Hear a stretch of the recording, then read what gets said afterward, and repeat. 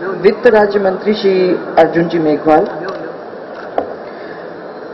राजस्थान के उद्योग मंत्री श्री गजेंद्र सिंह जी खीमसर, हमारे इस क्षेत्र के एमएलए साहब,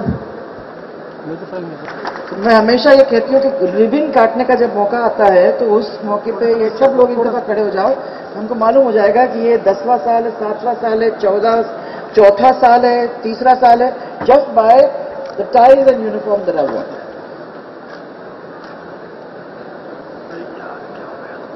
जब अपने ये काम चालू किया था फॉर द फ़र्स्ट टाइम छोटे से लेवल पे चालू किया था। टूट जाएगा। और उनकी याद आती है क्योंकि आप लोगों के साथ साथ उन्होंने भी बहुत मेहनत बोल करके बोल के बोल बोल के इसके फ़र्स्ट शोज़ चालू किए। महिला होने के नाते हमको तो सबको इसमें इंटरेस्ट है ही। वैसे मेरा ठेका तो नहीं है उसके ऊपर एज एज लेडीज़ क्योंकि आजकल आदमी भी बहुत अच्छे अच्छे ज्वेलरी पहनने लगे हैं। ऐसा तो नहीं है कि वो तो पहले भी पहना करते थे। पोर्ट्रेट्स देख लो आप पुराने जमाने के। तो जितने हीरे मोती तब आदमी पहना करते थे मैं समझती हूँ कि महिलाओं के नसीब में तो आता ही नहीं था। और धीरे धीरे उसी तरीके से आप लोग फिर से घूम फिर के वापस जाने की तैयारी में हो, ऐसा मुझे लग रहा है। पर JECC I to congratulate you both mister Derawala and mister Dangach and myself for having put this thing together आज सीतापुरा के अंदर हम लोगों के लिए एक ऐसी चीज़ आ गई है, ऐसी चीज़ मिल गई है of which we can be proud आज इसको देख के मुझे अच्छा लग रहा है। पहले आपको जहाँ फ्री मिल जाता था, वहाँ कहीं बगीचे में, कहीं लॉन में, कहीं स्टॉल्स लग जाते थे कवर हो जाता था और हम वहीं सब लोग पहुँच जाते थे। आज professionally I think this the first one no second one we doing second one we doing professionally the first time we did it in that hall I remember professionally जैसे किसी दूसरे कंट्री के अंदर होता है, उस तरीके से हम लोगों ने एक नया रास्ता पकड़ने का काम किया है। कंग्रेचुलेट यू ऑल थोड़ा सा जरा जल्दी करो भैया। इसको कंप्लीट क्यों इतना टाइम लगा रहे हो? हाँ ये हो जाएगा तो ये आपके दो हॉल बन गए आपका बगीचा बन गया। बिफोर ग्राम जो होगा नवंबर के महीने में, उसके पहले पहले ये होटल भी तैयार हो जाना चाहिए। नहीं तो ज़मीन को वापस लेना ही पड़ेगा। इसके बारे में सोच के आप जल्दी से जल्दी बनवा दीजिए। बहुत अच्छी चीज़ें हो रही हैं, बहुत इंपॉर्टेंट चीज़ें हो रही हैं। और मैं अभी आपको बताना चाहूँगी कि निर्मल जी, आपने तो पहले हिस्से में तो पहले तैयार किया हम लोगों को। ये बार बार करते हो, मैंने देखा है कि एक प्रथा हो गई है। पहले तो इनको ताड़ पे चढ़ाओ और उसके बाद उनको पूरी लिस्ट दे दो। तो पूरी लिस्ट देने में इनने कमी नहीं छोड़ी। मैंने इनको ये कहा है कि डायमंड बर्ड्स और बर्ड्स के पीछे इतने सालों से पड़े हैं, ज़मीन अपने पास है, उसके डिज़ाइन वगैरह अपने पास आने चाहिए। एवरीथिंग फ्री तो होने वाला नहीं है जी। नहीं, मैं उसकी बात नहीं कर रही हूँ, वैसे बहुत सारी चीज़ें थी, जिसके अंदर अपन ने कहा कि इसको सपोर्ट कर दिया जाए, उसको आजकल सपोर्ट ज्वेलरी को सपोर्ट वैसे ये बात सही है। मैं कोई मैगजीन पढ़ रही थी कुछ दिन पहले। और उसमें मैंने देखा, क्योंकि एक जमाना था जो वॉचेस मैंने घड़ियाँ जो हैं, बिल्कुल टॉप क्लास की हुआ करती थी। और जेम्स एंड ज्वेलरी के ही बने हुए होते, कोई डायमंड्स है, कोई रूबीज है, कोई बने कारीगरी का एक नमूना।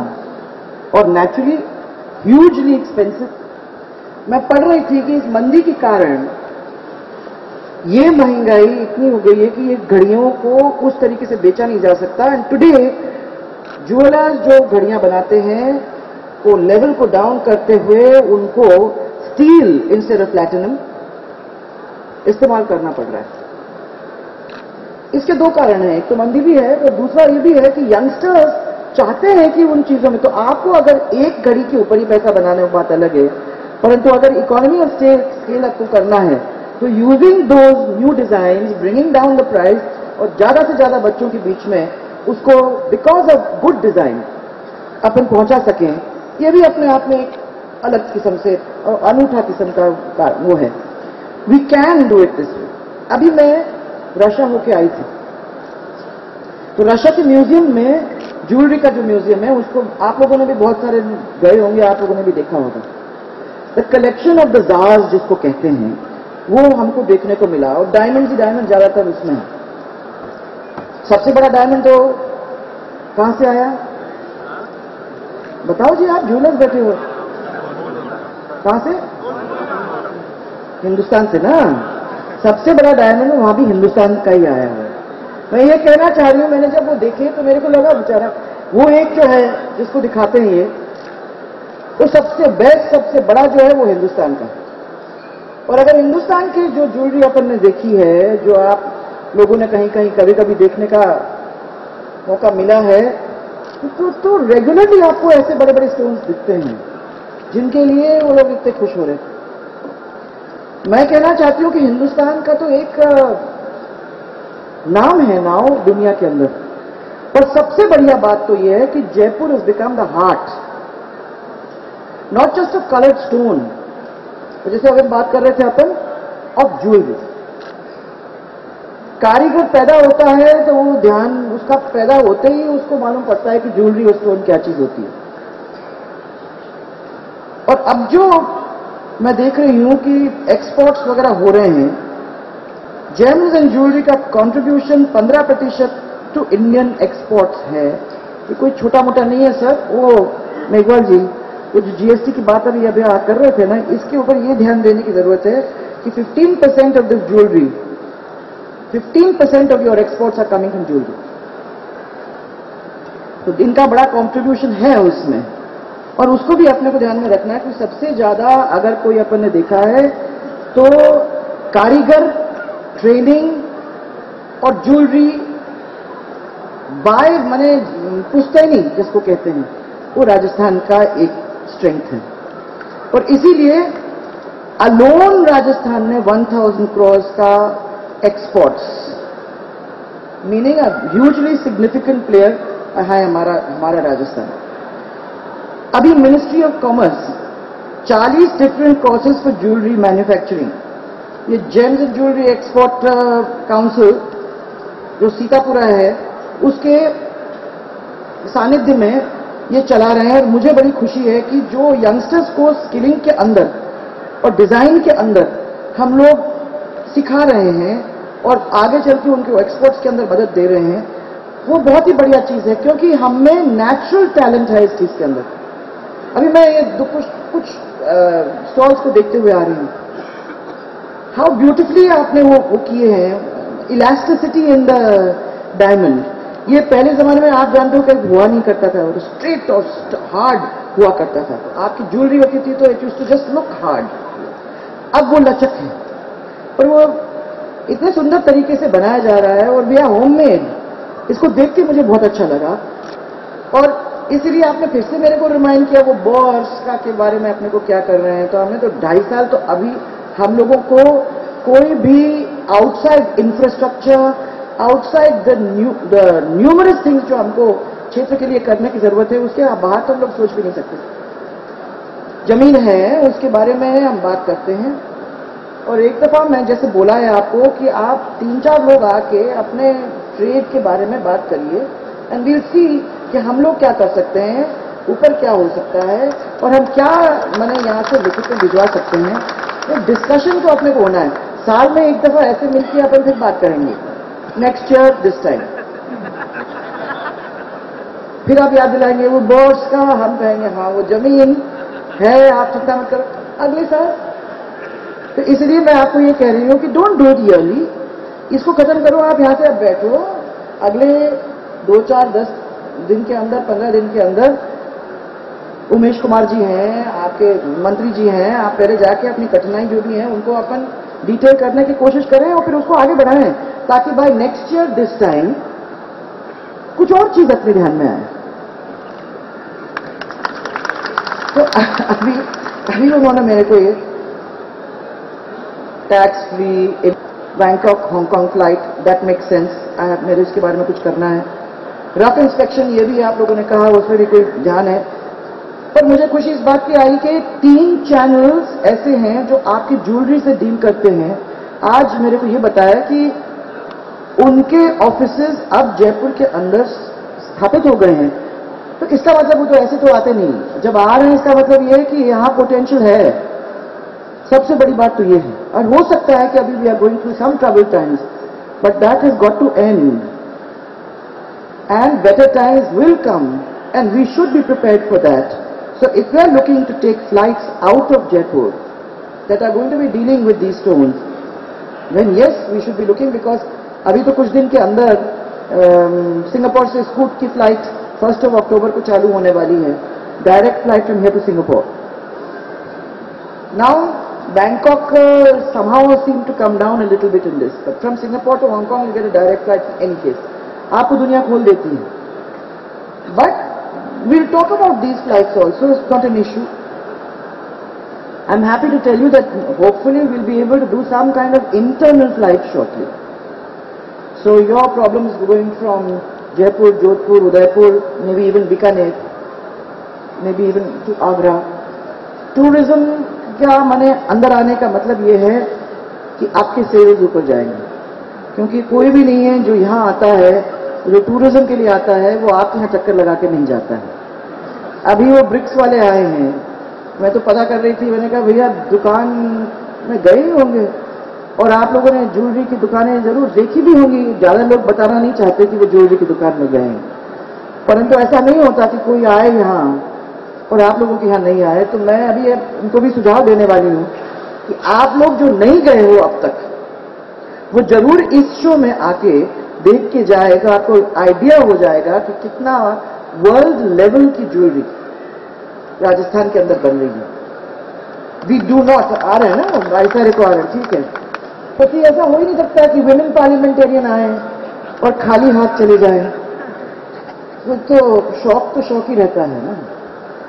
So they are I know they will come but the most important thing is कि अभी तक हमने ये कहा था कि कलर्ड स्टोन का ये और डायमंड्स एमरल्ड के लिए नाव जो हमको दिखाई दे रहा है वो खाली कलर्ड स्टोन का ही नहीं है। बट उसके अंदर ज्वेलरी पर से आ रहा है। मैं आपको जो normal white colour fired opal ऐसे वो तो मिल जाता है। फिर वो डार्क ब्लू और वो ब्लैक जो ओपन है it's almost impossible to get तो ये सब चीज़ें हैं जिनके बारे में थोड़ा सा आप ध्यान दे के ऐसे स्टोन्स जो शायद कहीं और न मिले, ऐसे स्टोन्स को भी अपन लाने की कोशिश करेंगे। मुझे मालूम है कि आप तो गिनती करते हो, तीन दिन अगर ऐसा रख लिया और वो नहीं जाता है तो इसका इतना पैसा हो जाता है। हम तो खरीदने वालों में से हैं तो इसे हमारे ध्यान में ये नहीं आता है। तो हम ये सोचते हैं कि क्यों नहीं मिल रहा है? एंड आई थिंक दैट ये तो ऐसे स्टोन्स हैं जिसके लिए जिसके फॉलोअर्स हैं। और जो इन स्टोन्स के लिए दूर दूर तक जाके खरीद ले, लेते हैं। वेदर आप शुगर लोग के हिसाब से उसको टैंजनाइट को दे रहे हो या आप अलग अलग कट से हमको एक्ोमरीन दे रहे हो। Aquamarine I don't see any I don't see opal any more मेरा ये सोच है और मेरा भी ध्यान है कि भाई ये दुकानें 500 से तो ज़्यादा चली जाए। आने वाले समय के अंदर। एंड हम चाहते हैं कि आप लोगों को हम सपोर्ट करेंगे। क्यों नहीं चाहेंगे? क्योंकि राजस्थान के अंदर ये टेक ऑफ़ हो जाता है तो कितने सारे लोगों को नौकरियाँ मिल जाती हैं, रोज़गार मिल जाता है। और आपकी वजह से कितना सारा टूरिज़्म हमारे लिए बढ़ जाता है, क्योंकि लोग कहते हैं, चलो चलो, जयपुर चलते हैं go to Africa you be able to get these stones go to Brazil you get these stones जो इनके फॉलोअर्स होते हैं, वो तो उनमें जाते ही हैं। इसलिए मेरा ये कहना है कि ऐसी स्थिति अपन बना दें कि एवरी ईयर इस शो को देखने के लिए लोग दूर दूर से आना शुरू करें। You get it at a better price you get the best ये सोच के लोग आएँगे तो I think will be going to another level अभी तक तो हम बॉम्बे के शहडो में सूरत के शहडो में गुजरात के शहडो में इन सब के शहडो में हैं। मैं ये चाह रही हूँ कि उन शहडो में से निकल के अपन अप, अपनी जगह बनाएँ। हम लोगों को इन्वाइट करेंगे, आइए ना, यहाँ आइए। You must come for our next council meeting and we be very happy to have you get that's the kind of thing that we are going to do in time to come and hopefully that is going to be engineer by you it's only atmosphere and support that can get created the rest of it has to happen by the entrepreneur himself इसलिए आज आप लोगों को ये कहते हुए मैं सिर्फ़ इतना कहूँगी कि you are going in the right direction थोड़ा सा ट्रबलसम टाइम है. We will get over this troublesome time आपका ये हक है और इस हक को अपने को छोड़ना नहीं है. पकड़े रहो.